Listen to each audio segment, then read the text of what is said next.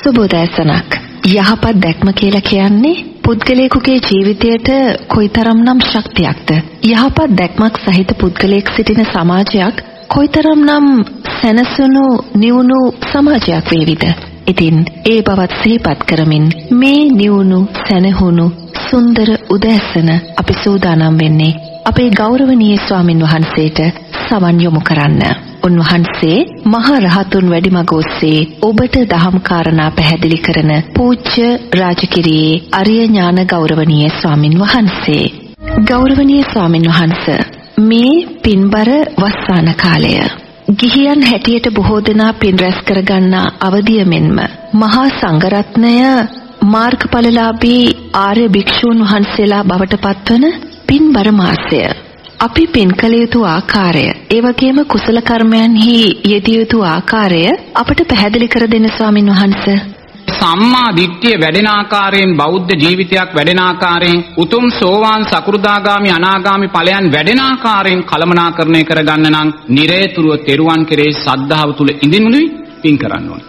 ඒ නිසා පින්වතුල්ලා මේ ඉදිරි වස්තුම් මාසය මේ පින්කම් ආරම්භ කරන්න මොකද වර්තමාන අපේ සමාජයේ වස්තුම් මාසය කියන්නේ පින්කම් වලින් අප්‍රමාණ පිරී ඉතිරි යන කාලපරාසයක්. ඒ පින්කම් නිසාම නිරේතුරුව මේ වස්තුම් මාසයේ නිරේතුරුවම ගමත් පන්සලත් අතර තියෙන සම්බන්ධය නිරේතුරුව මේ සම්මා සම්බුද්ධ ශාසනයේ අනාගත පැවැත්ම උදෙසා අත්‍යවශ්‍ය සාධකයක් වෙනවා. ඒ නිසා පින්වතුල්ලා නිරේතුරුවම මේ කරන පින්කම් වලින් බැහැර වෙන්න අවශ්‍ය නැහැ. ඒ නිසා මුලින්ම ඔබ මේ වස් කාලය ආරම්භ වීමට පෙර ඔබ මල් ගොටුවක් දීලා ඔබේ පන්සලේ ගෞරවනීය ස්වාමින් වහන්සේට වස් වසන්න කියලා ආරාධනා කරන මොහොතේ පටන් ඔබ දක්ෂ වෙන්න තෙරුවන් කෙරෙහි අවබෝධයෙන් සරණ යාම තුල මේ පින්කම් සිද්ධ කරන්න. ඒතකොට තෙරුවන් කෙරේ අවබෝධයෙන් සරණ යනවා කියන්නේ එයා බුදුරජාණන් වහන්සේ ධර්ම රත්නයේ සංඝ රත්නයේ ගුණයන් කෙරේ ඥානයන් කෙරේ අවබෝධයෙන්ම සරණ යනවා. කවුරුත් කියපු නිසානේ මේ පොතක පතක තිබුණ නිසා නෙමෙයි.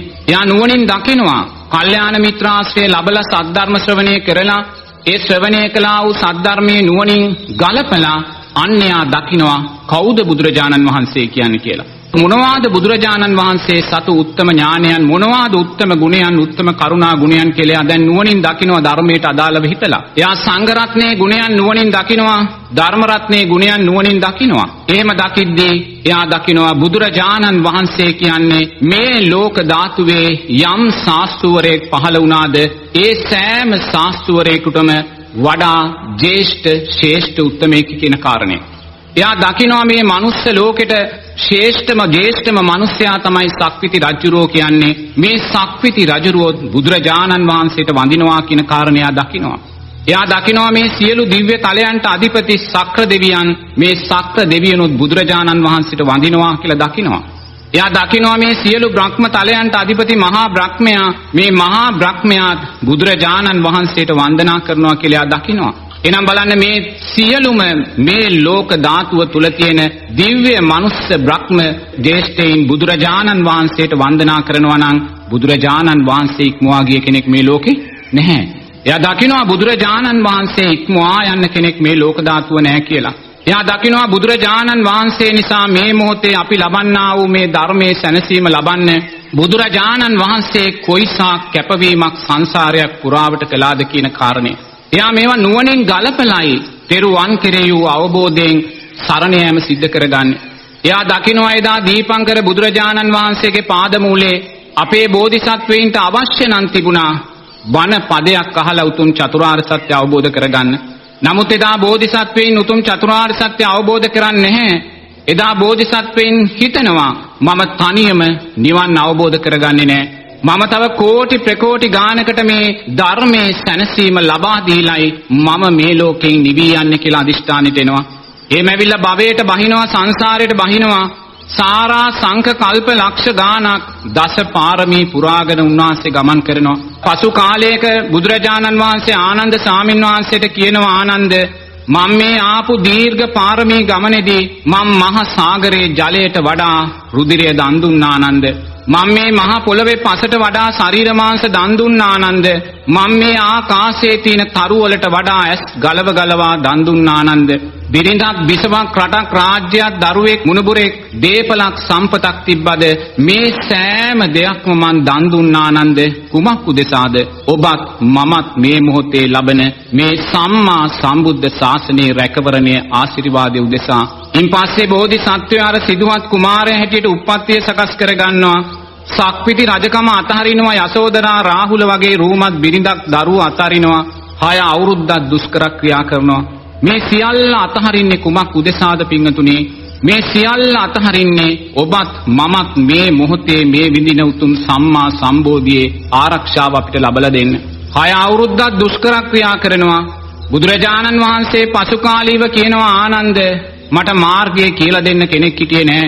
මට පතක් පොතක් තිබුණේ නෑ. දැනගන්න දැන කියා ගන්න කෙනෙක් හිටියේ නෑ. මම දුක තුලින්මයි ආනන්ද දුක ජය ගන්නවා කියලා හිතුවේ. එනිසා මම මේ කයට අප්‍රමාණ දුක් දුන්නා. සමහර දාට මං එක කඩල ඇටයක් විතරයි වැළඳුවේ සමහර දාට එක මං බත් ඇටයක් විතරයි වැළඳුවේ ඊට වඩා දෙයක් ආනන්ද මං ශරීරයට දුන්නේ නැහැ ජීවිතයට දුන්නේ නැහැ මම දුක තුලින්මයි ආනන්ද දුක ජය ගන්නවායි කියලා හිතුවේ එදා මගේ උදරය කියලා පිටකොන්ද කියලා දෙකක් තිබ්බේ නැහැ උදරය අත ගන්නකොට පිටකොන්දයි අසුනේ පිටකොන්ද අත ගන්නකොට උදරයයි අසුනේ ඒසා ආනන්ද මම මේ ශරීරයට දුක් දුන්නා කුමක් උදෙසාද පින්නතුනේ ඔබත් මමත් මේ මොහොතේ අත්විඳින මේ උතුම් සැනසෙල්ල අපිට ලබලා දෙන්න. අවසානයේ බෝධිසත්වයෝ දකිනවා දුක තුලින් දුක ජය ගන්න බැහැ කියලා. බෝධිසත්වයෝ ජයශ්‍රී මහා බෝධි මූල ළඟ වාඩි වෙලා චිත්තයක් අදිෂ්ඨානයක් ඇති කර ගන්නවා පින්වතුනි. මොකක්ද ඒ චිත්තය? මගේ ලේ මස් සම්මැට නහර වියලේවා මේ සම්මා සම්බුද්ධ රාජ්‍ය අවබෝධයෙන් තොරව මන් නැගිටින්නේ නැහැ කියලා. බලන්න මොකක්ද මේ ජයශ්‍රී මහා බෝධි මූලදී සිද්ධ කරන්නේ? බෝධිසත්වයෝ ජීවිතේ මරණයට දානවා කියන්නේ රූපය කෙරෙහි තියෙන තෘෂ්ණාව අතහරිනවා. වේදනා සංඥා චේතනා විඥානය කෙරෙහි තියෙන තෘෂ්ණාව අතහරිනවා. පංච උපාදානස්කන්ධය කෙරෙහි තියෙන තෘෂ්ණාව අතහැරෙද්දී අන්න චතුරාර්ය සත්‍යයක් සම්මා සම්බුද්ධ රාජ්‍යයත් අවබෝධ කරගන්නවා. එහෙනම් බලන්න මේ උතුම් සම්මා සම්බුද්ධ රාජ්‍ය අවබෝධ කරගන්න බෝධිසත්වයින් ජීවිතේ මරණයට දානවා ජයශ්‍රී මහා බෝධි මූලෙදි පිංගතුනේ බෝධිසත්වයෝ ජීවිතේ මරණයට දාලා ලැබුවා වූ අවබෝධයක ඵලයකුයි අපි මේ මොහොතේ මේ සැනසෙල්ල උදෙසා උපයෝගී කරගන්නේ. එනම් පින්වතුන් නුවණින් දකින්න අතීතයේ බෝධිසත්වයින් මහා සාගරයේ ජලයට වඩා රුධිරය දන් දුන්නා නම් මහා පොළවේ පසට වඩා ශරීර මාංශ දන් දුන්නා නම් ආකාශයේ තරු කැටවලට වඩා ඇස් ගලව ගලවා දන් දුන්නා නම් බෝධිසත්වයෝ ලක්ෂ කී වතාවක් ජීවිතේ මරණයට දාන්න නැද්ද කියලා පින්වතුනි කුමක් උදෙසාද ඔබත් මමත් මේ මොහොතේ අත්විඳින මේ සම්මා සම්බුද්ධ ශාසනයේ අසිරිය අපිට ලබලා දෙන්න. ඉන්පස්සේ බලන්නේ උතුම් සම්මා සම්බුද්ධ රාජ්‍ය අවබෝධ කරගෙන 45 වසරක් පුරාවට පිංගතුනේ ඒ බුදුරජාණන් වහන්සේගේ ශ්‍රී පතුල් වල කරගැටෙන තුරාවට දියපට්ට එන තුරාවට උන්වහන්සේ දඹදිව සෑම ගම් නියම් ගමක්ම වඩිමින් ඔබත් මමත් වැනි අසරණ සත්වයින්ට නිවනේ මාර්ගයමයි කියලා දුන්නේ පිංගතුනේ. අවසානයේ පිරිනිවන් මංචකේ සැතපීලා අවසාන අවවාදයේ හැටියට ලෝකයට මොකක්ද කියන්නේ? මහණෙනි සියලු සංස්කාරයෝ අනිත්‍යයි. එනිසා මේ සංස්කාරයන්ට බැඳෙන්න එපා. ඇසුරු සැනක්වත් භවය ප්‍රාර්ථනා කරන්න එපා කියලා බුදුරජාණන් වහන්සේ දාවවාද කරන්නේ. සියලු සංස්කාරයෝ අනිත්‍යයි කියන්නේ මොකක්ද? සංස්කාර කියන්නේ කුසල් සංස්කාරයත් අකුසල් සංස්කාරත් කියන දෙකටමයි. එනම් බුදුරජාණන් මේ කුසල් සංස්කාරයත් අනිත්‍යයි අකුසල් සංස්කාරත් අනිත්‍යයි. එනිසා ඔබ මේ අනිත්‍ය වෙන කුසලයට අකුසලයට බැඳෙන්න එපා. ඔබ භවයට බැඳෙන්න එපා ඇසුරු සැනක්වත් ඔබ භවයට බැඳෙන්න එපා භවය ප්‍රාර්ථනා කරන්න එපා කියලයි අවසාන අවවාදය අපිට දෙන්නේ. ඇයි පින්වතුනි භවය ප්‍රාර්ථනා කරන්න එපා කියන්නේ? අපි භවය ප්‍රාර්ථනා කරලා පින්කම් කරලා අපි සුගතියට ගියොත් ඒ සුගතිය අනිත්‍ය වූ ධර්මතාවයක්මයි ඒ සුගතියෙන් අපි ආයිමත් සතර පායට වැටෙනවා. එනම් බලන්න බුදුරජාණන් වහන්සේ ජීවමානව ඉද්දි පිංගතුනේ අපි අනාගතේවත් සතර පායට වැටෙනවාට බුදුරජාණන් වහන්සේ කැමති වුණේ නැහැ. බලන්න මොනසා මහා කරුණා ගුණයක්ද කියලා. මෙන්න මේ ගුණයන් දකිමිනුයි අපි බුදුරජාණන් වහන්සේ කෙරෙහි සරණ පිහිටිය යුතුයි. මේ ගුණයන් දකිමින් දුවනියම් මෙනෙහි කරමින් බුදුරජාණන් වහන්සේ අපිට මේ සැනසෙල්ල ලබලා දෙන්න කොයි සානම් කැපවීමක් කොයි සානම් ජීවිත පරිත්‍යාගයක් කොයි සානම් දුක් කන්දරාවක් වින්දාද කියන කාරණේදී අන්න බුදුරජාණන් වහන්සේ කෙරෙහි අයෝමය විශ්වාසය අයෝමය සද්ධාව අපි තුල සකස් වෙනවා. අපි නුවණින් ගලපලයි මේ කාරණා දකින්නේ. මේ කාරණා දකිද්දි කොතනකවත් තව කෙනෙක් කිව්වා කියලා අපි වෙනස් වෙනවද? නැහැ. පතක පොතක තිබ්බාය කියලා වෙනස් වෙනවද? නැහැ. කාගෙන් හරි දෙයක් ඇහුණාය කියලා අපි වෙනස් වෙනවද? නැහැ. අවබෝධයෙන්මයි අපි සරණ යන්නේ. යා නුවණින් දකිනවා බුදුරජාණන් වහන්සේගේ මේ සම්මා සම්බුද්ධ ඥානයට අභියෝග කරන්න මේ ලෝක ධාතුවේ කිසිම කෙනෙක් නැහැ කියන කාරණේ. බුදුරජාණන් වහන්සේ දේශනා කරනවා මහණෙනි මම මේ ධම්ම චක්කේ පවත්වන්නේ මේ ධර්ම චක්කයේ සිංහනාද කරන්නේ කාගෙන්වත් අහලා නෙමේ පොතකින් බලලා නෙමේ මම මේ ධර්ම චක්කය පිළිබඳ සිංහනාද පවත්වන්නේ මගේ අවබෝධ ඥානය තුලින්මයි කියලා බුදුරජාණන් වහන්සේ දේශනා කරනවා. බුදුරජාණන් වහන්සේ දේශනා කරනවා මම මේ මනුස්සත්වයා මැරිලා උපදින තැන මම දකිනවා ඕනෑම සත්වයෙක් මේ මොහොතේ මිය පරලව ගියාද ඒ සත්වයා ඊළඟ නිමේෂයේදී සකත් කරගත්ත උපත මං චුතූපපාත ඥාණයෙන් දකිනවා මං චුතූපපාත ඥාණයෙන් දැකලයි මම කියන්නේ අහවල් සත්වයා අහවල් තැන ඉපදුනා කියලා. එහෙම නැතුව මං කාගෙන්වත් අහලා නෙමෙයි කියන්නේ. ඒ වගේම බුදුරජාණන් වහන්සේ කියනවා මහණෙනි මම పూర్වේ නිවාසානුස්සති ඥාණයෙන් දකිනවා. අතීතේ සත්වයා මැරෙමින් ඉපදෙමින් මැරෙමින් ඉපදෙමින් ආවා වූ ගමන මම పూర్වේ නිවාසානුස්සති ඥාණයෙන් දකිනවා. සත්වයේගේ ජීවිත 100ක් අතීතයට මම දකිනවා. කෙනෙක්ගේ ජීවිත 1000ක් මං අතීතයට දකිනවා. දසදහක් ලක්ෂයක් දසලක්ෂයක් කල්ප ගානක් ඈතට పూర్වේ නිවාසානුස්සති ඥානය තුලින් සත්වයාගේ අතීත භව ගමන මම දකිනවා ආනන්ද දැකලයි මම දේශනා කරන්නේ. කාගෙන්වත් මම අහලා නෙමෙයි දේශනා කරන්නේ.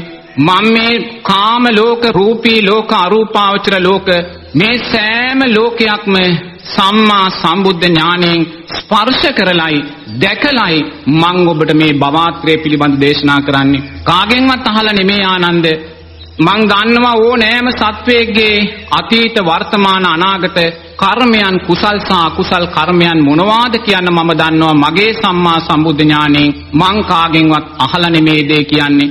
ඒ වගේමයි මම මේ සෑම දිව්‍ය තලයක්ම සෑම බ්‍රහ්ම තලයක්ම මම නුවණින් පීර පීරා බලනවා මං ඒවාට වඩිනවා මං ඇස් දෙකෙන් වැඩම කරලයි ඔබලාට මේ සෑම කාරණයක්ම දේශනා කරන්නේ කාගෙන්වත් අහලා නෙමේ පොතකින් දැකලා නෙමේ. මං මහ පාරක් අයිනේ හිටගෙන ඉන්න මිනිස්සෙක්. ඒ මහ පාරේ ගමන් කරන රතවාහන මිනිස්සෙන් යම්සේද දකින්නේ? මං ඒ වගේ මේ සත්වයා සතර අපායට වැටිලා විඳින්නා වූ දුක මගේ අවබෝධ ඥාණයෙන් මං දකිනවා. പ്രേත ලෝකෙට වැටෙන සත්වයා പ്രേත ලෝකයේ විඳින දුක මම දකිනවා. නිරයට වැටෙන සත්වයා නිරේ විඳින්නා වූ දුක මම දකිනවා. අසුර ලෝකෙට වැටෙන්නා වූ සත්වයා අසුර ලෝකයේ විඳින්නා වූ දුක මම දකිනවා. ඒ වගේමයි දිව්‍ය තලවල බ්‍රහ්ම තලවල සත්වයා විඳින්නා වූ කාමයන්ගේ සැපයන් සමාධියන්ගේ සැපයන් මං අවබෝධ ඥානයෙන්ම දැකලයි මං ඔබලාට දේශනා කරන්නේ. කාගෙන්වත් අහලා නෙමේ කවුරුවත් මට කියලා නෙමේ මම මේ මුළු විශ්වයම මගේ අවබෝධ ඥානයට හසු කරගෙනයි මම මේ උතුම් ධම්මචක්කය සිංහනාද පවත්වන්නේ කියලා බුදුරජාණන් වහන්සේ දේශනා කරනවා. එවන් සිංහනාදයක් පවත්වන්න පුළුවන් ශාස්තුන් වහන්සේ කෙනෙක් මේ ලෝක ධාතුල නෑ පිංගතුනි. එදා හිටියෙත් නෑ අතීතයේ දෘෂ්ටීන් 62ට නායකත්වයේ දෙන ශාස්ත්‍රවරු හිටියත් බුදුරජාණන් වහන්සේ මහා සාගරේ නම් ඒ ශාස්තුන් වහන්සේලා එක දිය බිඳුවක් පමණක්මයි පිංගතුනි. වර්තමානයේ මේ ලෝකයේ තුල කොයිසා ආගම් කත්රුවරු ආගම් නායකයින් හිටියත් ඒ ආගම් කත්රුවරු නායකයින් ඉදිරියේ බුදුරජාණන් වහන්සේ මහා සාගරයේ ජලය නම් ඒ ආගම් කත්රුවරු එහි ජල බිඳුවක් විතරමයි පිංගතුනි. නිසා මේ අවබෝධය අපි තුල තියෙන්න ඕනේ. බුදුරජාණන් වහන්සේ කවුද කියන විශ්වාසය තුල අපි ඉන්න ඕනේ. ඒ විශ්වාසයයි තෙරුවන් කෙරෙහි බුදුරජාණන් වහන්සේ කෙරෙහි අවබෝධයෙන් අපි සරණ ගියා කියන්නේ. මේ අවබෝධය තුල අපි බුදුරජාණන් වහන්සේ සරණ යද්දි පිංගතුනේ කවුරු කිව්වත් අපි වෙනස් වෙන්නේ නැහැ. අපි අවබෝධය තුල ඉඳගෙනයි සරණ ගියේ කවුද කියන කාරණය බුදුරජාණන් වහන්සේගේ අයෝමය ගුණයන් ඥානයන් අපි අපිම නුවණින් දැකලයි බුදුරජාණන් වහන්සේ සරණ යන්නේ. ඒ නිසා නිරේතුරුව පිංගතුල්ලා කල්යාණ මිත්‍රාශ්‍රයේ සද්ධර්ම ශ්‍රවණයේ නුවණින් මෙනෙහි කිරීම තුළ බුදුරජාණන් වහන්සේ කියන අර්ථය නිවැරදිව දකින්න මොකද වර්තමාන සමාජයේ ප්‍රවණතාවයක් මතුවෙනවා බුදුරජාණන් වහන්සේගේ පිළිම වහන්සේ නමක් දකින්න සමහරු අකමැති. අර දෙතිස් මහා පුරුෂ ලක්ෂණයන්ගෙන් බබලන රූපකාය දකින්න සමහරු අකමැති. පන්සලක් දකින්න සමහරු අකමැති. නිරේතුරුවම සද්ධාව දුර්වල වෙන ස්වභාවයටයි සමාජය ගමන් කරවන්නේ. මොකද ඒගොල්ලෝ මේ බුදුරජාණන් වහන්සේ දේශනා කළ උතුම් ධර්මයට කැමති නෑ. ආස්වාදයේ තුල විඳීම තුල ජීවත් වෙන්නයි ඒ අය කැමති. කාමයන් හැකිතාක් විඳින්න රූපයන් හැකිතාක් විඳින්න වේදනාවන් හැකිතාක් විඳින්න කියන ආස්වාදයට යට වෙන්නා වූ ලෝකයක් අනාගතයේදී බිහි වෙන්නේ. ඒ ආස්වාදයට යට වෙන්නා වූ ලෝකයේ තුල ඒගොල්ලෝ ආදීනවේ අහනවට ආදීනව කියනවට ආදීනවේ දේශනා කරනවට කැමති නැහැ පිංගතුනි. ඒ නිසා ඒගොල්ලෝ උත්සාහ ගන්නේ ආදීනවේ දේශනා කරන්නා වූ මේ බුදුරජාණන් වහන්සේ බුදුරජාණන් වහන්සේගේ ධර්මයක් හැකිතාක් විවේචනයන්ට ලක් කළා දුර්වලභාවයට පත් කළා දාන්න. ඒ දුර්වලභාවය තුල අර අසද්ධාව වඩන පිංගතුල්ලා තව තවත් අසද්ධාවට පත් වෙලා මිත්‍යා දෘෂ්ටික භාවයේ කරා අරන් යන්නේ. එනිසා පිංහතුල්ලා නිරේතුරුව සමාජය තුළ මතුවෙන මේ අනතුර දකිමින් මේ වස්පින්කම් ආරම්භ වෙන මොහොතේ අවබෝධයෙන් බුදුරජාණන් වහන්සේ සරණ යන්න. බුදුරජාණන් වහන්සේ හැර වෙනත් සරණක් වෙනත් පිහිටක් වෙනත් රැකවරණයක් වෙනත් කරුණාවක් මේ ලෝක ධාතුව තුල අපිට නැහැ කියලා දකින්න. බුදුරජාණන් වහන්සේලාගේ අයෝමය පින් ශක්තිය නුවණින් මතු කළ දකින්න බුදුරජාණන් වහන්සේ මව් කුසට පහළ වෙන මොහොතේ පටන් ඒ බුදුරජාණන් වහන්සේගේ අතීත පින අතීත කුසල් ශක්තිය විපාක දෙමින් තමයි මව්කුසට බැසගන්නේ පිංගතුනි. ඒ මව්කුසට බැසගන්න වෙලාවේ පින යම්සේද විපාක දෙන්නේ ඒ අම්මා දැනුවත්වයි බෝධිසත්වයෙක් මව්කුසට බැසගන්නේ ඒක බුදුරජාණන් වහන්සේ නමකගේ තියෙන පුණ්‍ය ශක්තිය. ඒ මව්කුසට ඒ අම්මා දරුවා බැසගත්ත මොහොතේ පටන් ඒ බෝධිසත්ව අම්මාට කවදාක්වත් කාමයක් සකස් වෙන්නේ නැහැ. තමන්ගේ සාමි පුරුෂයා උදෙසාවත් කාමයක් සකස් වෙන්නේ නැහැ. එය බෝධිසත්වයේගේ උත්තම පිනේ ශක්තිය පිංගතුනේ. ඒ දරුවා මව් කුසේ වැඩෙන දස මාසයේ පුරාවට ඒ අම්මාට දරුවාව මව් කුසේ වැඩෙනවා හොඳින් පේනවා. වීදුරු පෙට්ටියක් ඇතුලේ දරුවෙක් කියලා තීද්දි බාහිරට යම්සේද පේන්නේ Tamanගේ කුසේ ඉන්න දරුවා අම්මා දකිමිනුයි අම්මා බලමිනුයි ඒ දරුවා වැඩෙන්නේ. එය බෝධිසත්වයේගේ තියෙන කුසල් ශක්තියේ ඵලයේ පිංගතුනේ. ඒ වගේ මේ බෝධිසත්ව දරුවා ඒ අම්මා හිටගෙන ඉන්න ස්වභාවෙනුයි ලෝකෙට බිහි වෙන්නේ. ඒ බිහි වෙන මොහොතේ ඒ දරුවාගේ ඇඟේ ලේ ටිකක් සැරව ටිකක් තැවරිලා නැහැ පිංගතුනි. ඒකේ බෝධිසත්ව දරුවාගේ අතීත පුණ්‍ය ශක්තිය. ඒ වගේ මේ දරුවා ලෝකෙට බිහි වෙන වෙලාවේ සීතල වැස්සක් උණුදිය වැස්සක් වැටිලා ඒ දරුවා දෝවණය කරනවා. එය ඒ බෝධිසත්ව දරුවාගේ පුණ්‍ය ශක්තිය පිංගතුනි. ඒ වගේමයි ඒ දරුවා ලෝකෙට බිහි වෙන වෙලාවේ සතරවරන් දෙවියනුයි ඒ දරුවා දෝතට ගන්නේ. ඒකේ බෝධිසත්ව දරුවාගේ පුණ්‍ය ශක්තිය පිංගතුනි. ඒ දරුවා ලෝකෙට බිහි වෙන වෙලාවේ ඒ දරුවා පියවර හතක් තබනවා. ඒකේ දරුවාගේ පුණ්‍ය ශක්තිය පිංගතුනි.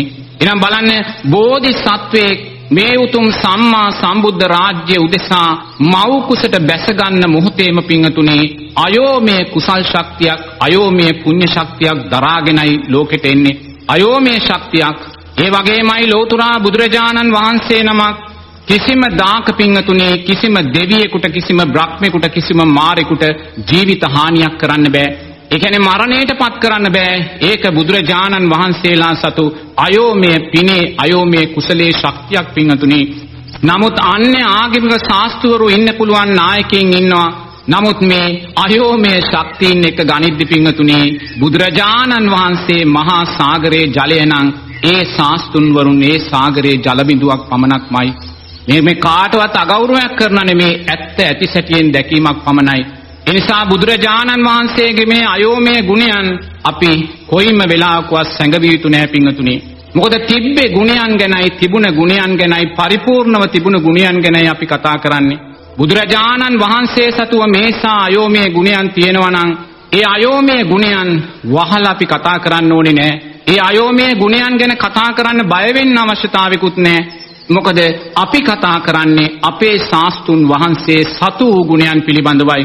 නමුත් වර්තමාන සමාජයේ අපි දකිනවා බුදුරජාණන් වහන්සේගේ ගුණයන් ගැන කතා කරද්දී බුදුරජාණන් වහන්සේගේ මේ අයෝමය කුසල් ශක්තිය පින ගැන කතා කරද්දී ඒ කතාවට ಜಾතිවාදය නැත්තම් ආගම් වාදය කියන වචනය යොදලා බලවත් වූ බාධාවන් සිද්ධ කරනවා. ඒ තැනට සමාජය අද ඇවිල්ලා තියෙනවා පින්වතුනි. නමුත් ಜಾතිවාදයක් ආගම්වාදයක් නෙමෙයි මෙතන මතුවලා තියෙන්නේ. බුදුරජාණන් වහන්සේගේ සැබෑ ගුණයනුයි අපි මේ ප්‍රකාශ කරන්නේ. අන්‍ය ශාස්ත්‍රුන් වහන්සේලාට ඒ ගුණයන් නැහැ කියලා බුදුරජාණන් වහන්සේගේ ගුණයන් අපි වහන්න බෑ අපිට. අපි වහන මොහොතක් පාසා අපි අපේ සද්ධාව දුර්වල කරගන්නවා පිංගතුනි. එනිසා යම් පින්වතෙක් සමාජය තුල ජාතිවාදය ආගම්වාදය කියන කරුණු මතු කරලා බුදුරජාණන් වහන්සේගේ ගුණයන් දෙවෙනි තැනට දානවා නම් ඒ දාන මොහොතක් පාසා වූ මිත්‍යා දෘෂ්ටික භාවයට අදාළ සංස්කාරණු රැස් කරගන්නේ.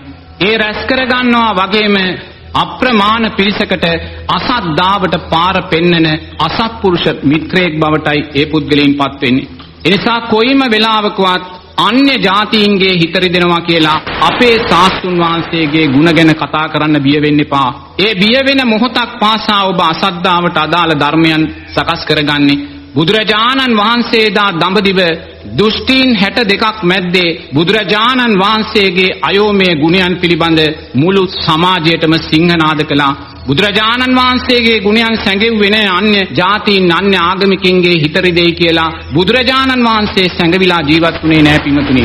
ඒ නිසා මේ මොහොතේ අන්‍ය ජාතිකයින්ගේ අන්‍ය ආගමික පින්වතුල්ලාගේ හිත රිදෙනවා කියලා බුදුරජාණන් වහන්සේගේ ගුණයන් එක දශමයක්වත් සංගවන්න යටපත් කරන්න නොකියා ඉන්න අපිට අවශ්‍යතාවයක් නැහැ පින්වතුනි. බුදුරජාණන් වහන්සේගේ ගුණයන් පිළිබඳ සිංහනාද කරන්න ඕ නෑම බුදුරජාණන් වහන්සේගේ ශ්‍රාවකයෙකුට ශක්තිය තියෙන්න ඕනේ. එතනයි සද්ධාව කියන කාරණේ මතුවෙන්නේ පින්වතුනි. එනිසා නිරේතුරුවම මේ අයෝමය ශක්තිය අයෝමය ඥාන ශක්තිය මේ අයෝමය බුදුරජාණන් වහන්සේගේ ගුණයන් නුවණින් දකිමින් අවබෝධයෙන් බුදුරජාණන් වහන්සේ සරණ යන්න. පූජ්‍ය රාජගිරියේ අරිය ඥාන ගෞරවනීය ස්වාමින් වහන්සේ සිරස FM පන්සල් මළුවට මේ සුවිශේෂී වස්සාන සමය වෙනුවෙන් ලබා දුන් දහම් සාකච්ඡාවයි ඔබ ශ්‍රවණය කරන්නේ. ගරු ස්වාමින් වහන්සේ මේ පින්කම් කරන අතර සමාජය පින කුසලය කියන කාරණා සම්බන්ධව විශේෂයෙන් අවධානය යොමු කරනවා නේද? සමාජය කොච්චර මේ කාරණා දෙක කතා කළත් මේ කාරණා දෙකේ අර්ථයන්ගෙන් සමාජය දිනෙන් දිනම දිනෙන් දිනම පිරිහීමටපත් වෙනවා පින්වතුනි. ඒ නිසයි මේ කාරණා දෙක මේ වැදගත් අවස්ථාවේ මතක් කළේ. ඒ නිසා බුදුරජාණන් වහන්සේ පින කියලා කියන්නේ පින්වතුනි සැපයට කියන තවත් නමක් පින්වතුනි. යම් පින්වතෙක් සැපෙන් ජීවත් වෙනවා නම් සතුටෙන් ජීවත් වෙනවා නම් ඒක තමයි පින කියලා කියන්නේ පින්වතුනි. යම් කෙනෙක් දුකෙන් ජීවත් වෙනවා නම් ඒක තමයි පව කියලා කියන්නේ. එනිසා පින කියලා කියන්නේ බුදුරජාණන් වහන්සේ සැපයට කියන්නා වූ තවත් නමක් පින්වතුනි. ඒක තමයි පින. එතකොට කුසලය කියලා කියන්නේ මොකද්ද? සිතින්, කයින්, වචනයෙන් සිදුවෙන්නා වූ යහපත් දේ පින්වතුනි. එතකොට කයෙන් සිදුවෙන්නා වූ යහපත් දේ මොනවද? එයා සතුන් මරන්නේ, සොරකම් කරන්නේ, කාමයේ වර්ධවා හැසිරෙන්නේ නැහැ. එයා වචනයෙන් කරන්නා වූ යහපත් දේ මොකද්ද? මුසාවාදා, පිසුනා වාචා, පරුසා වාචා, සම්පප්පලාපයින් වලදිනවා. මනසෙන් සිදු කරගන්නා වූ යහපත් දේ මොකද්ද? අලෝභ, අද්වේෂ, අමෝහයන් තුල ජීවත් වෙනවා. එහෙනම් දැන් පින කියන වචනේ අර්ථය සැපයට කියන තවත් නමක්, කුසලය කියන වචනේ අර්ථය තවත් අර්ථයක්. ඒ කියන්නේ මේ වචන දෙකේ අර්ථ දෙක වෙනස් පින්වතුනි. ඒක හොඳට තේරුම් ගන්න ඕනේ. වචන දෙකේ අර්ථ වෙනස් වුණත් මේ අර්ථයන් දෙක එකට බැඳිලායි තියෙන්නේ පින්වතුනි. යම් කෙනෙක් සැපෙන් ජීවත් වෙන්නේ කුමක් නිසාද? කුසල් දහම් වඩන නිසාමයි පින්වතුනි. යම් කෙනෙක් දුකෙන් ජීවත් වෙන්නේ කුමක් නිසාද? අකුසල් දහම් වඩන නිසාමයි. එනිසා පින කියන වචනේ අර්ථයත් කුසලය කියන වචනේ අර්ථයත් දෙකක් වුණත් මේ දෙක නිරේතුරු එකට බැඳිලායි තියෙන්නේ පින්වතුනි. එනිසා පින්වතුල්ලා වස් කාලය ආරම්භ කිරීමේදී අර ස්වාමින් වහන්සේලාට වස් ගොටුවක් පූජා කළා මල් ගොටුවක් පූජා කරලා ඒ වස් පින්කම ආරම්භ කරන මොහොතේ පටන් පින්වතුල්ලා පින් කර යුත්තේ පින්වතුනේ ලෝභ ද්වේෂ මෝහ අකුසල් මූලයන් දුර්වල වෙන ආකාරයට. අනේක හොඳින් සිහි තබා ගන්න. මොකද වර්තමාන සමාජයේ පින් කරන්නේ බලවත් ආකාරයෙන් අකුසල් මූලයන් වැඩෙන දිශාවටමයි පින්වතුනේ. ලෝභ ද්වේෂ මෝහයන් වැඩෙන දිශාවටමයි පින්කම් සිද්ධ කරගන්නේ. මට මතකයි එක මහත්මයෙක් ඇවිල්ලා මට පහුගිය දවසක කිව්වා ස්වාමින් වහන්සේ අපේ ගමේ පන්සලේ වස් පින්කම කරන්නේ මේ පාර මම කියලා. ස්වාමීන් වහන්සේ ලක්ෂ 10ක් විතර මට වැය වෙනවා මම මේ දවස්වල ටිකක් මාන්ස් වෙලා මුදල් හොයනවා කිව්වා එතකොට බලන්න මේ පටන් ගැනීම තුලම පිංගතුනේ අපි තරඟකාරීත්වයකට අපි යොමු වෙලයි මේ පිංකම් පටන් ගන්න. ගිය අවුරුද්දට කෙනාට වඩා මම මේ අවුරුද්දේ ලස්සනට කරනවා. මේ වගේ එක එක තරඟකාරී ස්වභාවයන් මේවා තුලට ඇවිල්ලා පිං කරගන්නේ පිංගතුනේ බලවත් වූ අකුසල් මූලයන් රැස් වෙන විදිහට. බලවත් වූ අකුසල් මූලයන් රැස් වෙන විදිහට අපි පින් කරගත්තොත් මේ පිනට විපාක දෙන්න වෙන්නේ පිංගතුනේ අපිට ලැබෙන්නා වූ අනාගත දුර්වල උපත් තුලින්මයි.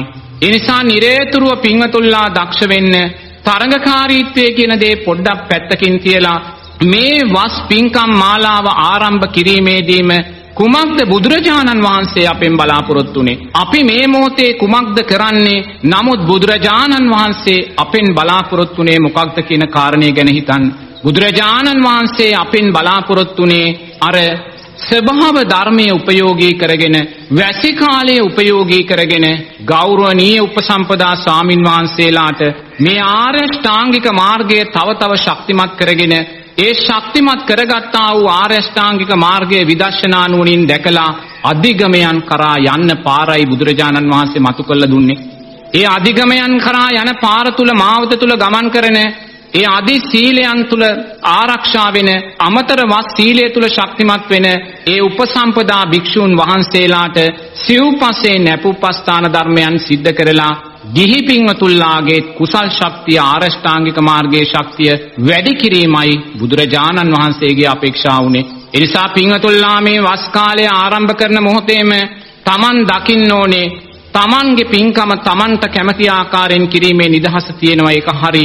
නමුත් ඒ පින්කම නිදහසේ කරනවා වගේම තමා කරන පින්කම තුල බුදුරජාණන් වහන්සේ බලාපොරොත්තු වූ අරමුණ ගැබ් වෙලා තියෙනවාද කියලා පින්වතුල්ලා දකින්න ඕනේ. බුදුරජාණන් වහන්සේ බලාපොරොත්තු වූ ඒ සැබෑ අරමුණ කුසලයේ ශක්තිය මෝදු කරන අරමුණ පින්කම් වලින් බැහැර වෙලා අකුසල් මූලයන් වැඩෙන දිශාවකට නම් අපි ගමන් කන්නේ. අපේ වස් පින්කම තුලින් අපි ලෝභ ද්වේෂ මෝහයන් තරගකාරීත්වය නම් අපි මතු කළ දකින්න යන්නේ. නිරේතුරුව පිංගතුනි වස් පින්කමක් සිද්ධ කළත් බුදුරජාණන් වහන්සේ නොදැක්ක වස් පින්කමක් බවටයි පත් වෙන්නේ බුදුරජාණන් වහන්සේගේ සරණින් බැහැර ගියා වූ වස් පින්කමක් බවටයි පත් වෙන්නේ එනිසා ඔබ නිරේතුරුව දක්ෂ වෙන්න ඔබ කරන්නා වූ මේ වස්තුම් මාසයේ සෑම පින්කමකදීම ලෝභ ද්වේෂ මෝහයන් නොවැඩෙන ආකාරයෙන් මනෝ කර්මයන් නොවැඩෙන ආකාරයෙන් වචී කර්මයන් වචනයෙන් සිද්ධ වෙන්නා වූ වැරදි නොවන ආකාරයෙන් කයෙන් සිද්ධ වෙන්නා වූ වැරදි නොවන ආකාරයෙන් මේ පින්කම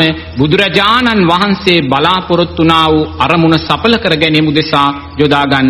ඒ වගේම පින්වත් පැවිදි පාර්ශවයක් දක්ෂ වෙන්න ඕනේ. උපසම්පදා භික්ෂූන් වහන්සේලා හැටියට අපි බුදුරජාණන් වහන්සේ වස් තුන් මාසය තුල අපෙන් බලාපොරොත්තුනේ මොකක්ද කුමන කාරණයක්ද කියන කාරණේ මතු කළ දකින්න. තුන් මාසයක් අපි වස් සමාදන් වෙන වෙලාවේ අපි සීමා මාලකයකට නැත්තම් බෝධින් නාන්සේ ළඟකට ගිහිල්ලා අපි අදිෂ්ඨානයක් කරගන්නවා. ඉමන් තේමාසං වස්සං උපේමී කියලා මේ තුන් මාසය මං වස් අදිෂ්ඨානය කළා මේ ආරණ්‍ය ගත කරනවා කියලා. එනම් බුදුරජාණන් වහන්සේ අපිව මේ තුන් මාසයක් එක තැනක නවත්තලා බුදුරජාණන් වහන්සේ භික්ෂූන් වහන්සේලා වන අපෙන් බලාපොරොත්තුනේ ආර්ය අෂ්ටාංගික මාර්ගයේ ශක්තිමත් කර ගැනීමමයි.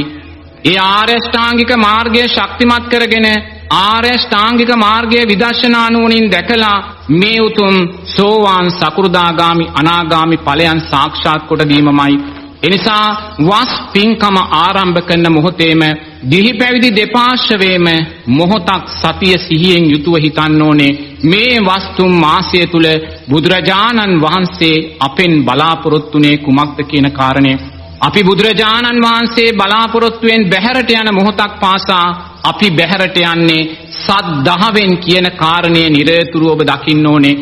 අපි සද්ධාවෙන් බැහැර වෙන්න බැහැර වෙන්න අනාගතේ පන්සල් තියේවි ආරණ්‍ය තියේවි ස්වාමින් වහන්සේලා තියේවි පින්කම් තියේවි පෙරහැරවල් තියේවි සද්ධාව දුර්වල වෙච්ච සමාධියක් තමයි අපිට දකින්න ලැබෙන්නේ. අරවා සියල්ලම තියෙයි.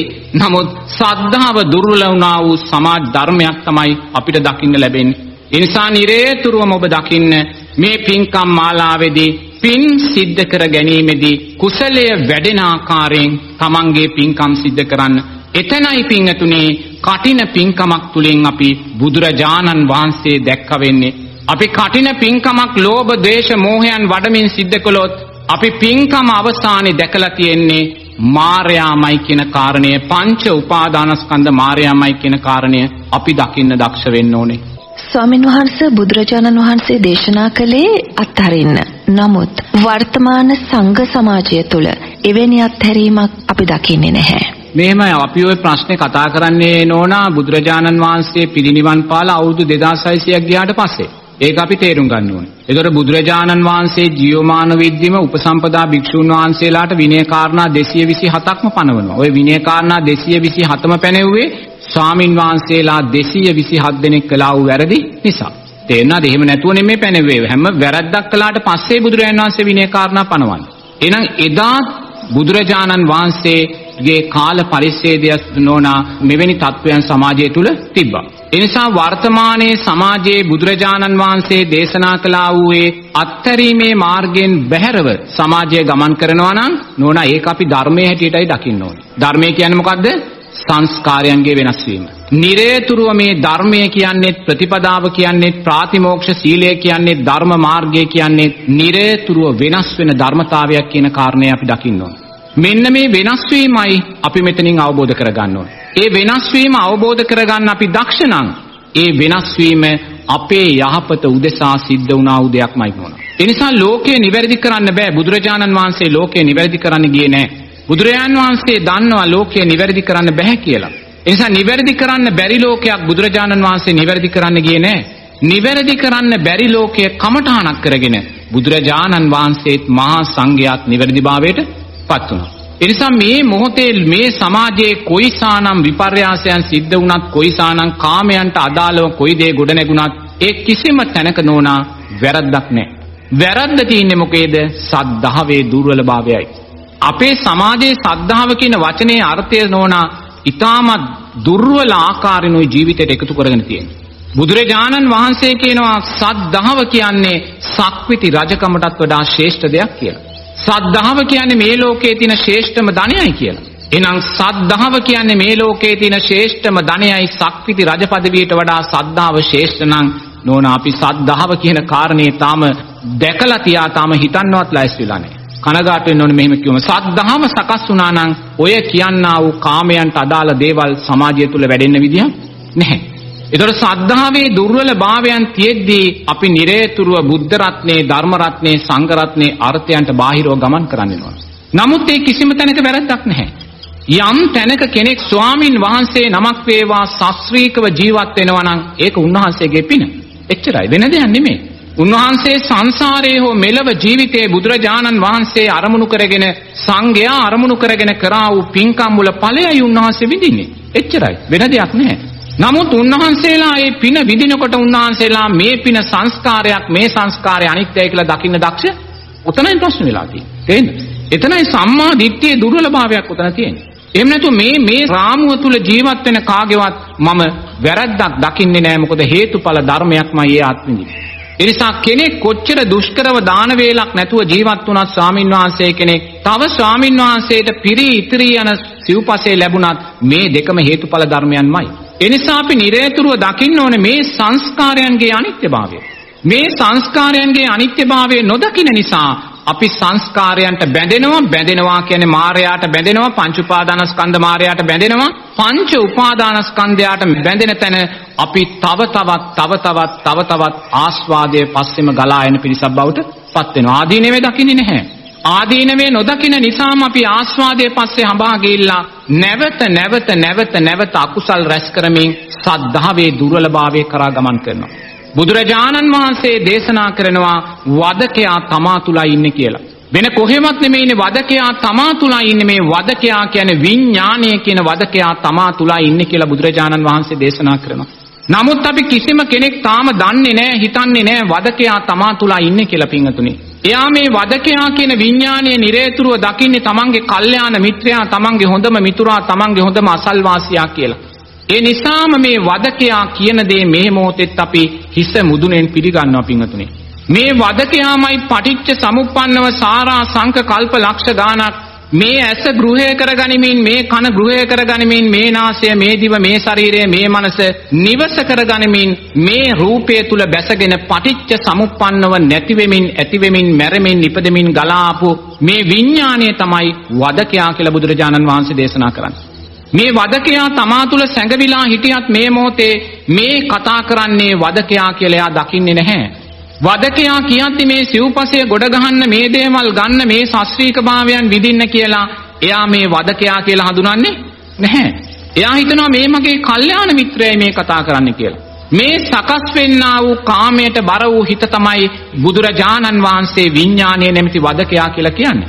එතකොට මේ වදකයා නිරේතුරුවම අපිව යොමු කරන්නේ කාමයන් දෙසටමයි කාමයේ ආස්වාදයේ දෙසටමයි. එයා ආදීනමේ දකින්න යොමු වෙන්නේ නැහැ මොකද වදකයා ආදීනමේ දෙන පෙන්වන්නේ නැහැ. මොකද වදකයා නිරේතුරුවම ආස්වාදයට බැඳිච්ච කෙනෙක් මාර ධර්මයක් විඥානය කියන්නේ මේ මාර ධර්මයේ සකස්ුනේ ඉපදුනේ කොතෙන්ද? තෘෂ්ණාව මුල් කරගෙනමයි. එනිසා මේ මාර්යා නිරතුරුව මේ සෑම මිනිස්සෙක්ගෙම සෑම සත්වයෙක් තුළම සැඟවිලා නිරතුරුව මේ වදකයා නැවත නැවත නැවත නැවත අපිව වදකාගාර වලට යොමු කරනවා. සතර අපාය කියන වදකාගාරයට අපි යොමු කරනවා පින්වතුනි. අතීතයේ අපි සතර අපායන්ට වැටිලා කල්ප ගණන් දුක් විඳනනම් ඒ සතර අපායේ සෑම උපතකට මුල්ුණේ තමා තුල සකස් වෙන්නා වූ සැඟවිලා ඉන්නා වූ වදකයාගේ ක්‍රියාකාරීත්වයට අපි යට වුණ නිසාමයි. බුදුරජාණන් වහන්සේ කියනවා මේ වදකයා හඳුන ගන්න කියලා තමා තුල ඉන්න. තමාව දුකට පමුණුවන සමාව සතර අපාය දුකට පමුණුවන තමාට ධර්මයේ ආදීනවේ ගැන මතක් කිරීම බාධා කරන මේ තමා තුල සකස් වෙන්නා වූ වදකයා හඳුන ගන්න කියලා. හඳුනගන්න නැති නිසාම බුදුරජාන් වහන්සේ කියනවා අපි මේ වදකයාට කන්න බොන්න දීලා ඇඳුම් අන්දලා මුහුණ හෝදලා අපි නිරේතුරුව මේ වදකයාව තව තවත් තව තවත් තව තවත් පෝෂණය කරනවා කියලා. එනිසා නිරේතුරුව තමන් සුල සකස් වෙන්නා වූ මේ කාමයන්ට ලැබි කාමයන්ට තෘෂ්ණාවෙන් හැදෙන මේ සෑම සිතක්ම දැනීමක්ම මේ විඥානයක්ම තමා තුල සැඟවිලා ඉන්න වදකයයි කියලා බුදුරජාණන් වහන්සේ දේශනා කරනවා. Taman මේ වදකයා කියලා හඳුනගන්න නැති නිසාමයි අපි සිව්පසයේ උදෙසා කාමයන් උදෙසා රූපයන් උදෙසා මේසා තෘෂ්ණාවෙන් ගිහිල්ලා අතහැරීම පැත්තකින් තියලා ගොඩ ගැසීම ජීවිතේ කරගෙන ජීවත් වෙන්නේ පිංගතුනි. එනිසා පිංගතුල්ලා දක්ෂ වෙන්න ගිහි වේවා පැවිදි වේවා වදකයා තමා තුලමයි සිටින්නේ පිංගතුනි. සාරා සංක කල්ප ලක්ෂ ගාණක් අපිව සතර අපා දුකට ඇදගැපු වදකයා කොහෙවත් හිටියේ නෑ තමා තුලමයි සැඟවිලා ඉන්නේ.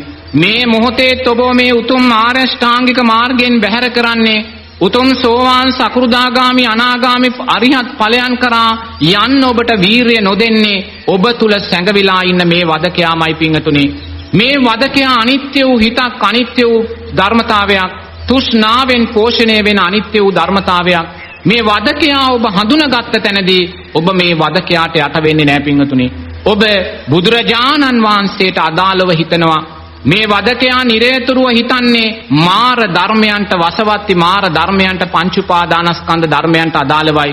නමුත් ඔබ මේ වදකයා තමා තුල සැඟවිලා ඉන්න වදකයා හඳුනාගත්ත තැනදී ඔබ ඒ වදකයාට නැවත ඔබ වදයට පමුණුවන්න අවස්ථාව දෙන්නේ නැහැ.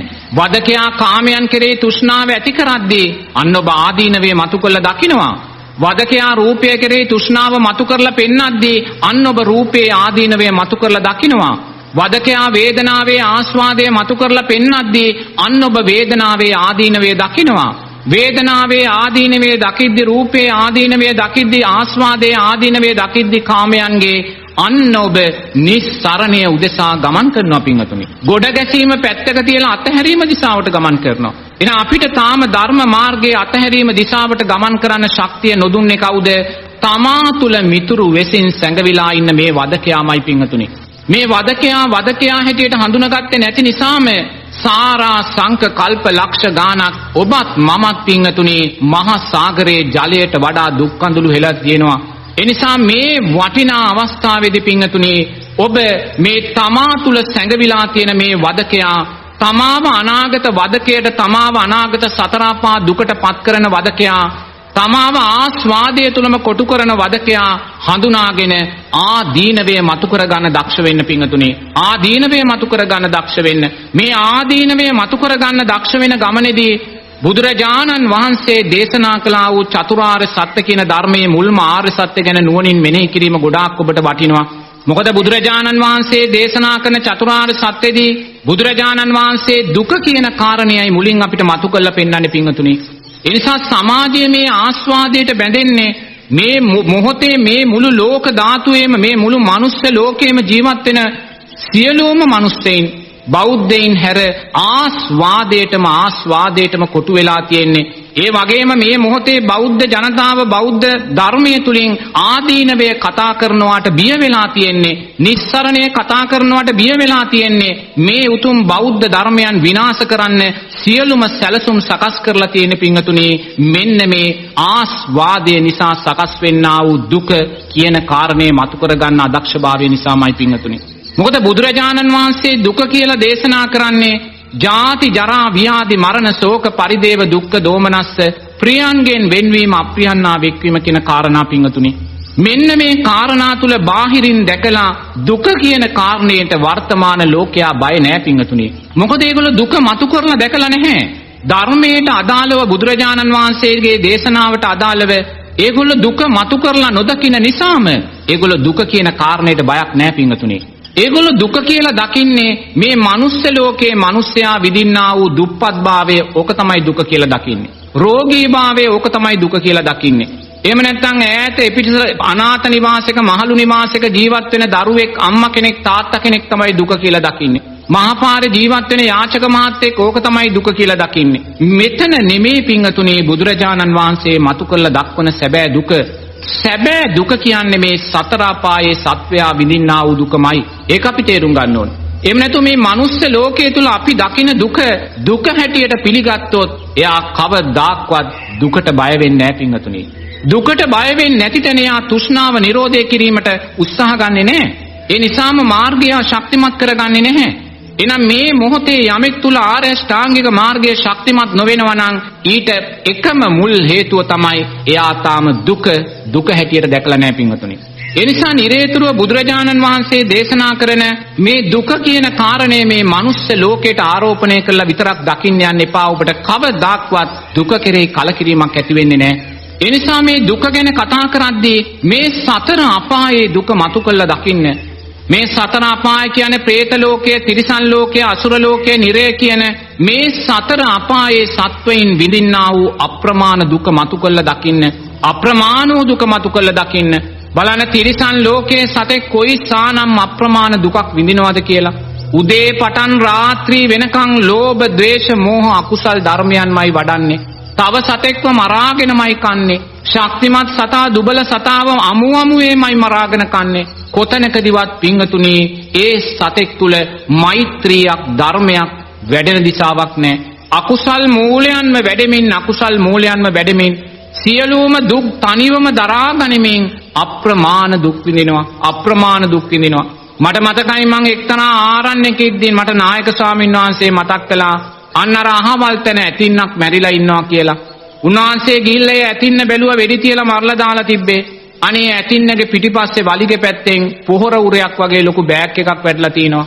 මොකක්ද අර වෙඩි කාගෙන අප්‍රමාණ දුක් විඳලා මැරෙන වෙලාවේ ඒ ඇතින්නගේ කුසේ හිටිය අර අලි පැටවා අර ගර්භාෂයත් එක්කම එළියට ඇවිල්ලා පිංගතුනි බලන්න මේ අම්මයි මේ දරුවයි කොයිසා දුකක් විඳින්නේ නැද්ද කියලා.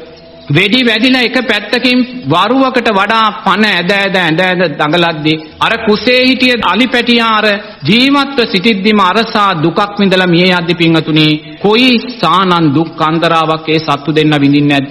මොකද ඒ සතෙකුට රෝහලකට යන්නද වින්නපු මාතාවක් හොයන්නද පැනඩෝල් පෙත්තක් දෙන්නද? තමන්ගේ දුක ඒ සත්තු තමන් තනියම දරා ගන්නවා පිංගතුනේ සමහර සතුන් කැලේ ජීවත් වෙන සතුන් අමු අමුවේ මරාගෙන කනවා. තාම මැරිලා නැහැ. නමුත් මස් වලින් භාගයක් කඩාගෙන කාලා ඉවරයි. ඒසා අප්‍රමාණ දුක් මේ තිරිසන් ලෝකෙ විඳිනවා. නමුත් මේ සෑම තිරිසන් සතෙක්ම පින්වතුනි පෙර ජීවිතයක ලස්සන මිනිස්සෙක්මයි.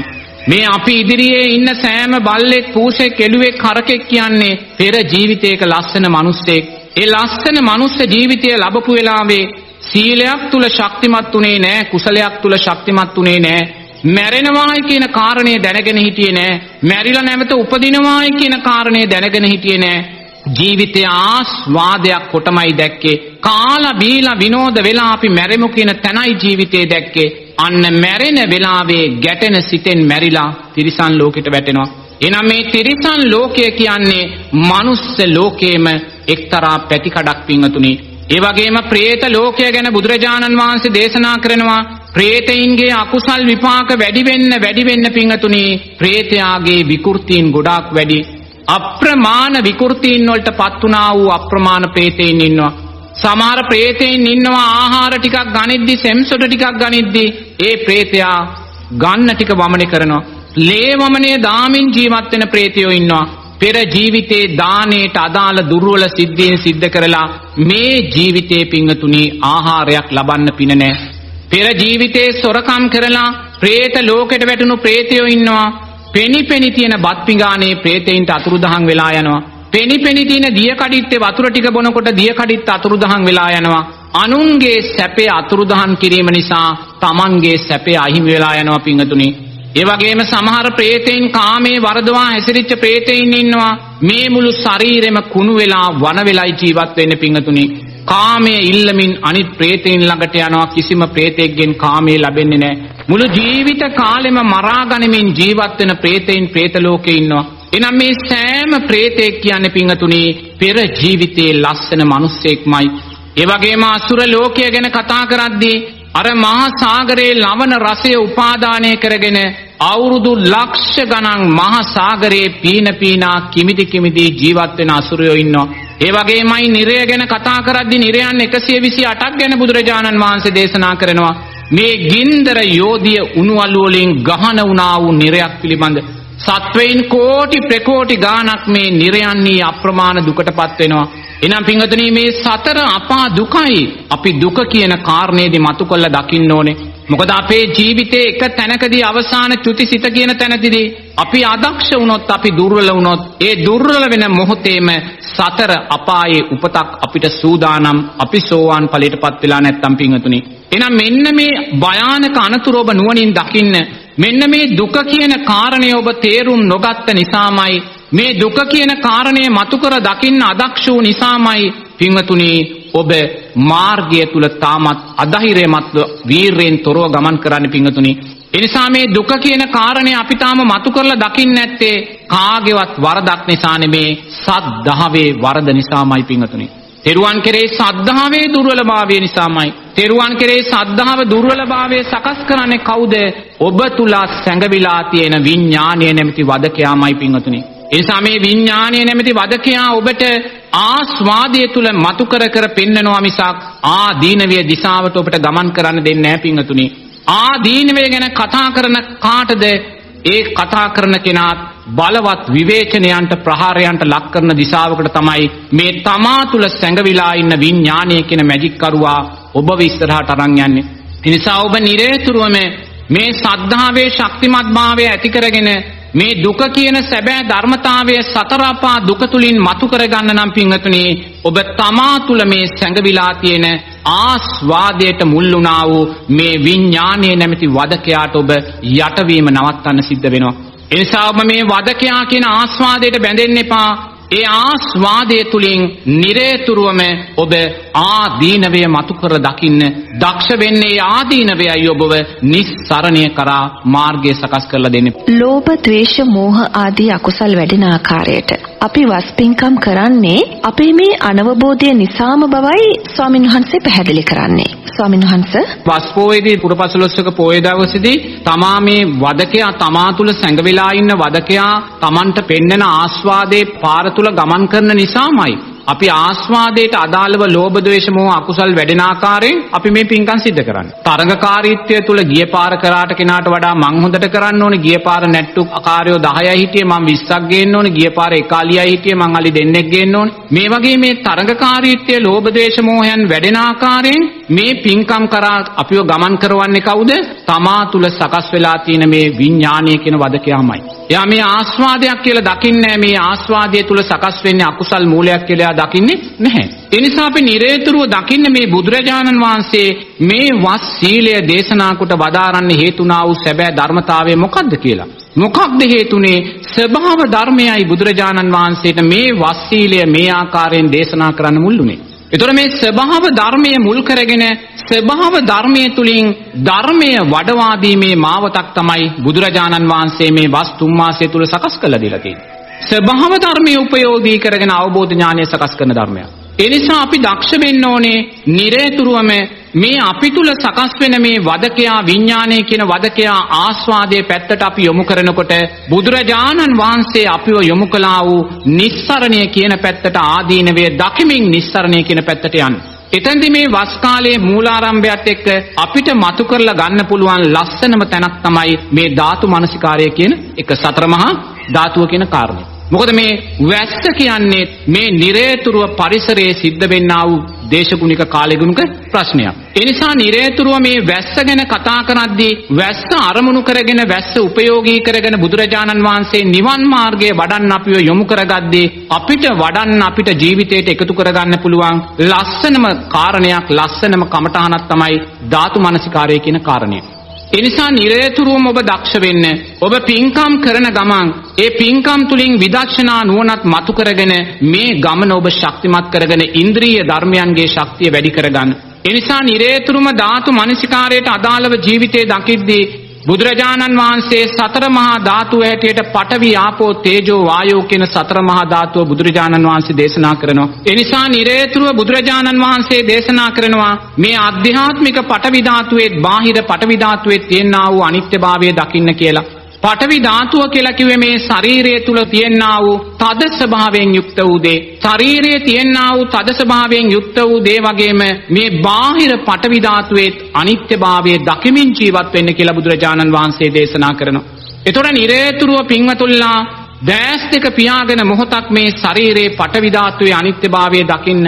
මේ කෙස් ලොම් නිය සම් දත් මස් ඇට මේ ඇට මිදුළු මේ සෑම ඔබට අරමුණු වෙන්නා වූ ඔබට දකින්න දක්ෂ වෙන්නා වූ මේ සෑම තද ස්වභාවයෙන් යුක්ත පටවි ධාතුවේ ඔබ අනිත්‍යභාවය දකින්න. ඒ වගේම ඔබේ ඇසට අරමුණු වෙන්නා වූ මේ ලෝක ධාතුව තුල තියෙන සෑම තද ස්වභාවයෙන් යුක්ත වූ මේ පටවි ධාතුවේ අනිත්‍යභාවය ඔබ නුවණින් දකින්න.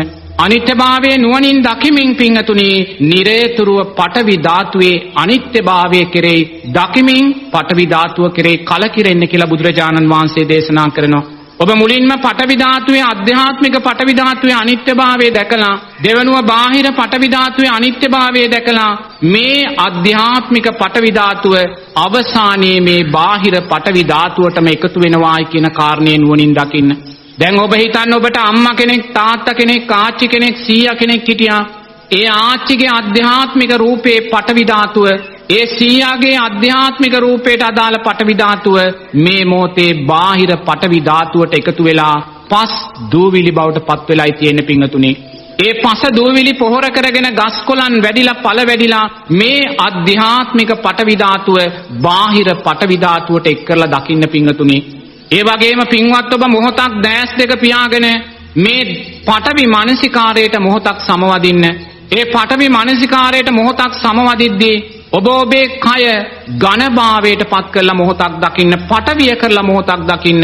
ඔබට අරමුණු වෙන්නා වූ මේ ඔබ ඉන්නා වූ කුටිය තද ස්වභාවයේ ගලක් බවට පත් කරලා ලෝකයේ කුටිය දකින්න. ඊට පස්සේ ඔබ මේ ඉන්නා වූ ගම එකම ගලක් තද ස්වභාවයක් කරලා ඔබ නුවණින් දකින්න. ඊට පස්සේ ඔබ මේ මුළු රටම එකම කළු ගලක් බවට පත් කරලා තද ස්වභාවයෙන් පටවියක් බවට පත් කරලා දකින්න. ඊළඟට ඔබ මේ මුළු ලෝකයම එකම කළු ගලක් තද ස්වභාවයට පත්වල පටවි ධාතුවක් හැටියට දකින්න. ඊළඟට මේ සියලුම දිව්‍යතල බ්‍රහ්මතල එක මොහොතක් ඔබ තද කළු ගලක් බවට පටවියක් බවට පත් කරලා දකින්න. එනම් මේ මුළු අධ්‍යාත්මික බාහිර පටවි ධාතුව නිට්ටය වූ පටවි ධාතුවක්ද අනිත්‍ය වූ පටවි ධාතුවක්ද?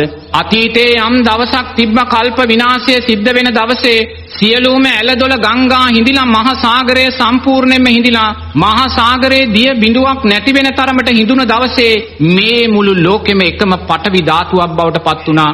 මේ මුළු ලෝකෙම පටවි ධාතුවේ ක්‍රියාකාරීත්වය 199ක් දක්වා ඉහළ ගියා. කොතනකවත් ජල බිඳුවක් ආපෝ ධාතුවක් නැහැ.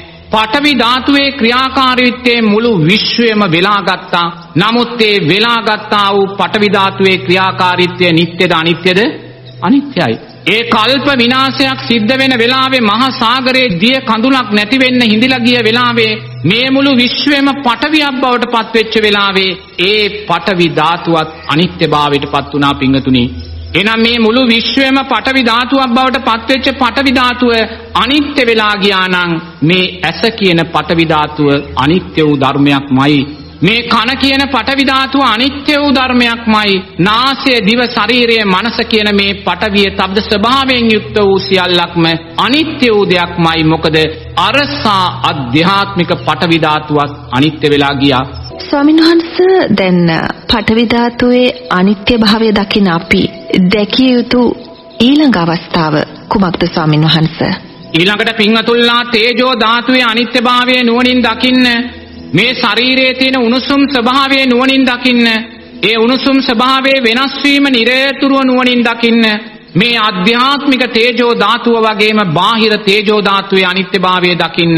ඒ වගේම බාහිර අපිට අරමුණු වෙන්නා වූ සෑම මිනිස්සෙක්ගේ සෑම සත්වයකගේම රූපය තුල තියෙනා වූ තේජෝ ධාතුවේ අනිත්‍යභාවය දකින්න.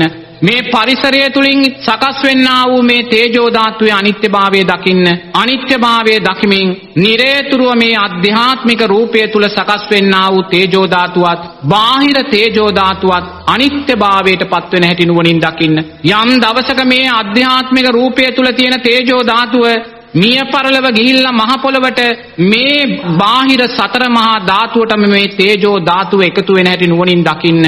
නිරේතුරුවම තමන් මේ තේජෝ ධාතුව පිංගතුනි අනිත්‍ය සංඥාව වැඩෙන ආකාරයෙන් නිරේතුරුව දකින්න.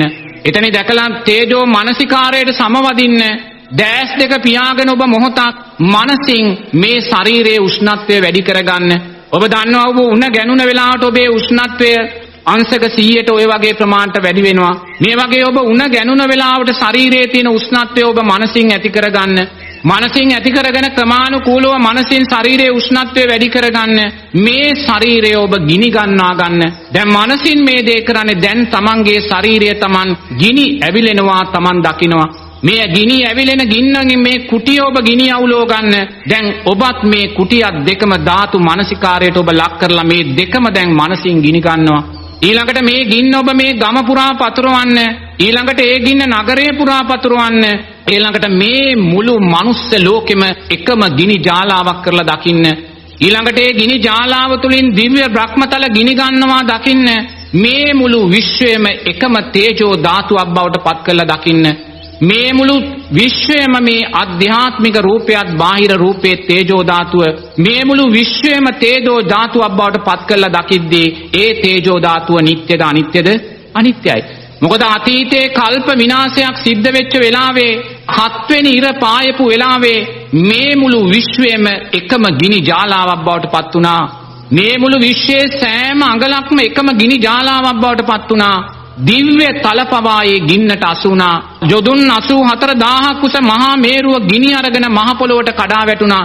එකම ගිනි ජාලාවකින් එකම තේජෝ ධාතුවකින් මුළු විශ්වයම පිරීලා ගියා පිංගතුනි ඒ තේජෝ ධාතුව නිට්ටය වුණාද අනිත්‍ය වුණාද?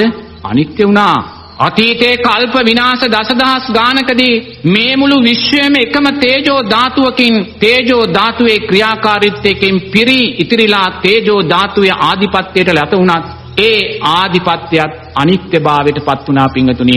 මුළු විශ්වයම තේජෝ ධාතුවේ ආධිපත්‍යයට පත් වෙලා එකම ගිනි ජාලාවක් බවට පත් වුණ තේජෝ ධාතුවත් අනිත්‍ය වෙලා ගියා නම් මේ මොහොතේ ඔබ අංශක 100ට ඔබේ තියෙන ඔය උණ ගැනීම නිසා සකස් වුණා වූ තේජෝ ධාතුව නිට්ටය වේද අනිත්‍ය වේද?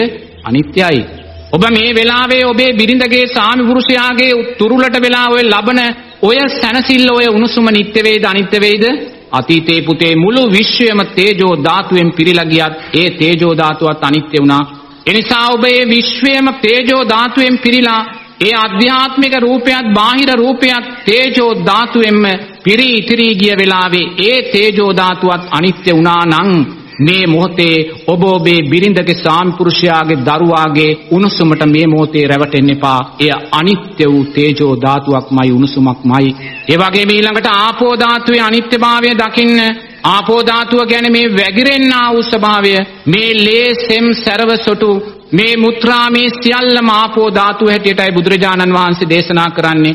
එනිසා මේ ආධ්‍යාත්මික රූපේ ආපෝ ධාතුවේ අනිත්‍යභාවය දකින්න බාහිර අපිට හමු වෙන්නා වූ සෑම රූපයකම ආපෝ ධාතුවේ අනිත්‍යභාවය දකින්න. තිරිසන් සතෙක් වේවා, මිනිස්සෙක් වේවා, ගහක් කොලක් වේවා අර තියෙන්නා වූ දියර ස්වභාවය, ද්‍රව ස්වභාවය නුවණින් දකින්නේ අනිත්‍ය වෙන්නා වූ ධර්මතාවය. ගඟක් දොලක් ඇලක් මහසාගරයක් දැක්කත් මේ ආපෝ මානසිකාරයට සමවැදිලා මේ ආපෝ ධාතුවේ අනිත්‍යභාවය දකින්න. ඒ අනිත්‍යභාවය දකිමින් නිරේතුරුව දැස් දෙක පියාගෙන ඔබ ආපෝ මානසිකාරයට සමවදින්න. ඔබේ මේ මුළු ශරීරෙම ඔබ ජල බඳුරක් කරලා දකින්න. ඔබේ මේ මුළු ශරීරෙම ජලය ගොඩක් කරලා ජර බාල්දියක් කරලා ජල බකට්ටයක් කරලා ඔබ දකින්න. ඊළඟට මේ මුළු කුටියම ඔබ ජල තටාකයක් කරලා දකින්න. මේ ගමම මේ නගරයම ඔබ ජල තටාකයක් කරලා දකින්න. ඒ වගේ මේ මුළු රටම එකම ජල තටාකයක් එකම සාගරයක් බවට පත් කරලා දකින්න. මේ මුළු විශ්වයම එකම ජල තටාකයක් එකම සාගරයක් එකම ගංගාවක් කරලා දකින්න. එහෙම දකිමින් නිරේතුරුවම මේ ආපෝ ධාතුවේ තියෙනා වූ අනිත්‍යභාවය දකින්න. මේ මුළු විශ්වයම එකම ජල තටාකයක් කරලා ඔබ දකිද්දී ඒ දැක්කා වූ මුළු විශ්වයම එකම ආපෝ ධාතුවේ ආධිපත්‍යයට යට වූ ඒ ජල තටාකය නිට්ටය වූ දෙයක්ද අනිත්‍ය වූ දෙයක්ද? අනිත්‍ය වූ දෙයක්. බුදුරජාණන් වහන්සේ දේශනා කරනවා අතීතයේ කල්ප විනාශයක් සිදුවීම ආරම්භ වෙන මොහොතේ අර යොදුන් 84000ක් කුස මහා මේරු පර්වතයේ කුඩා දිය උල්පත් මහා දිය උල්පත් මධ්‍යම දිය උල්පත් කියලා උල්පත් ස්වභාවයන් තුනක් තියෙනවා කියලා මේ උල්පත් ස්වභාවයන් තුන තුලින් මුලින්ම පංච මහා ගංගා පිරී ඉතිරී යනවා ගංගා යමුනා අචරවතී සරබූ මහී කියන පංච මහා ගංගාවන් පිරී ඉතිරී යනවා මේ උල්පත් ජලයෙන් ඊළඟට බුදුරජාණන් වහන්සේ කියනවා මේ උල්පත් ජලයෙන් දිව්‍ය තලවල තියෙන අනෝතත්ත්‍ය රතකාරය සිංහ ප්‍රපාතය මන්දාගිනිය ශද්දනිය කියන මේ දිව්‍ය විල් ජලයෙන් පිරී ඉතිරී යනවා කියලා.